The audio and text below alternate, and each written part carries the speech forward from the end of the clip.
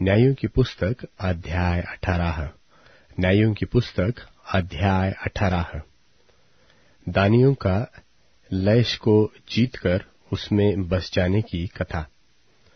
उन दिनों में इसराइलियों का कोई राजा न था, और उन्हीं दिनों में दानियों के गोत्र के लोग रहने के लिए कोई भाग ढूंढ रहे थे, क्योंकि इसराइली गोत्र के बीच उनका भाग उस समय तक न मिला था।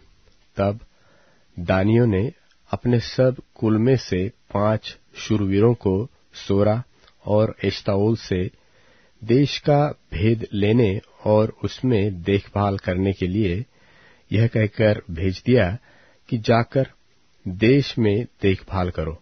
इसलिए वे एप्रेम के पहाड़ी देश में मिका के घर तक जाकर वहाँ टिक गए।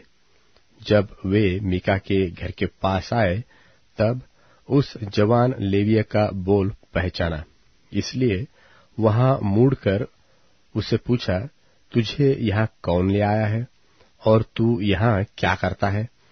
और यहाँ तेरे पास क्या है? उसने उनसे कहा, मीका ने मुझसे ऐसा ऐसा व्यवहार किया है और मुझे नौकर रखा है और मैं उसका पुरोहित हो गया हूँ। उन्होंने उससे कहा परमेश्वर से सलाह ले कि हम जान ले कि जो यात्रा हम करते हैं, वह सफल होगी व नहीं। पुरोहित ने उनसे कहा, कुशल से जाओ। जो यात्रा तुम करते हो, वह ठीक यहोवा के सामने है। तब वे पाँच मनुष्य चल निकले और लैश को जाकर वहाँ के लोगों को देखा कि सिदोनियों की नाए निडर, बेखटके और शांति से रहते हैं और इस देश का कोई अधिकारी नहीं है जो उन्हें किसी काम में रोके। और ये सिदोनियों से दूर रहते हैं और दूसरे मनुष्यों से कुछ व्यवहार नहीं रखते। तब वे सोरा और एस्ताओल को अपने भाइयों के पास गए और उनके भाइयों ने उनसे पूछा, तुम क्या समाचार ले आए हो? उन्होंने कहा, आओ, हम उन लोगों पर चढ़ाई करें, क्योंकि हमने उस देश को देखा कि वह बहुत अच्छा है। तुम क्यों चुपचाप रहते हो? वहाँ चलकर उस देश को अपने देश में कर लेने में आलस न करो। वहाँ पहुंचकर तुम निडर रहते हुए लोगों को और लंबा चौड़ा देश पाओगे और परमेश्वर ने उसे तुम्हारे हाथ में दे दिया है।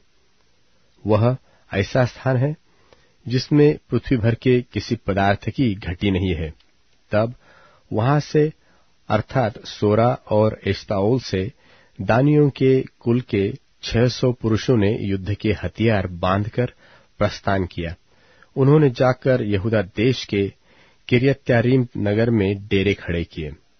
इस कारण उस स्थान का नाम महनेदान आज तक पड़ा है। वह तो किरियत्यारीम के पश्चिम की ओर है। वहाँ से वे आगे बढ़कर एप्रेम के पहाड़ी देश में मीका के घर के पास आए। तब जो पाँच मनुष्य लैस के देश का भेद लेने गए थे, वे अपने भाइयों से कहने लगे, क्या तुम जानते हो कि इन घरों में एक एक एपोद, कई एक गृह देवता एक खुदी हुई और एक ढली हुई मूर्ति है? इसलिए अब सोचो कि क्या करना चाहिए। वे उधर मुड़कर उस जवान लेविये के घर गए, जो मिका का घर था, और उसका क्षेम कुशल पूछा। और वे छह सौ दानी पुरुष फाटक में हथियार बांधे हुए खड़े रहे, और जो पाँच मनुष्य देश का भेद लेने गए थे, उन्होंने वहाँ घुसकर उस खुदी हुई मूर्त और एपोद और गृह देवताओं और ढली हुई मूर्तों को ले लिया, और वह पुरोहित फाटक में उन हथियार बांधे हुए एक सौ पुरुषों के संग खड़ा था, जब वे पाँच मनुष्य मीका के घर में घुसकर खुदी हुई मूरत, एपोद गृह देवता और ढली हुई मूरत को ले आए, तब पुरोहित ने उनसे पूछा, यह तुम क्या करते हो? उन्होंने उससे कहा, चुप रह और अपने मुँह को हाथ से बंद कर और हम लोगों के संग चलकर हमारे लिए पिता और पुरोहित बन। तेरे लिए क्या अच्छा है? यह कि एक ही मनुष्य के घराने का पुरोहित हो, वा यह कि इसराइलियों के एक गोत्र और कुल का पुरोहित हो। तब पुरोहित प्रसन्न हुआ। सो वह एपोद गृह देवता और खुदी हुई मूर्त को लेकर उन लोगों के संग चला गया। तब वे मुड़े और बाल बच्चों पशुओं और सामान को अपने आगे करके चल दिए। जब वे मीका के घर से दूर निकल गए थे, तब जो मनुष्य मीका के घर के पास वाले घरों में रहते थे, उन्होंने इकट्ठे होकर दानियों को जा लिया और दानियों को पुकारा। तब उन्होंने मुँह फेर के मीका से कहा, तुझे क्या हुआ कि तू इतना बड़ा दिल लिए आता है? उसने कहा, तुम तो मेरे बनवाए हुए देवताओं और पुरोहितों को ले चले हो। फिर मेरे पास क्या रह गया? तो तुम मुझसे क्यों पूछते हो कि तुझे क्या हुआ है? दानियों ने उससे कहा, तेरा बोल हम लोगों में सुनाई न दे। कहीं ऐसा न हो कि क्रोधी जन तुम लोगों पर प्रहार करे और तू अपना और अपने घर के लोगों के भी प्राण को खो दे।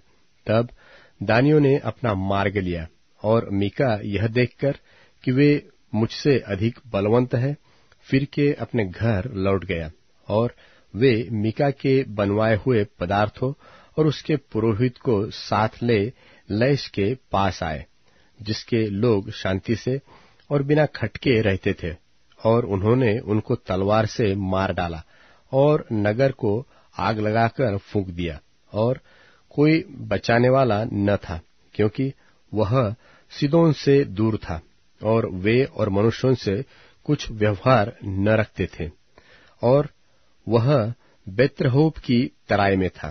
तब उन्होंने नगर को दृढ़ किया और उसमें रहने लगे और उन्होंने उस नगर का नाम इसराइल के पुत्र अपने मूल पुरुष दान के नाम पर दान रखा। परंतु पहले तो उस नगर का नाम लैश था। तब दानियों ने उस खुदी हुई मूर्त को खड़ा कर दिया और देश की बंधुआई के समय वह योनातान, जो गेरशुम का पुत्र और मूसा का पोता था, वह और उसके वंश के लोग दान गोत्र के पुरोहित बने रहे। और जब तक परमेश्वर का भवन शिलो में बना रहा, तब तक वे मीका की खुदवाई हुई मूर्त को स्थापित किए रहे।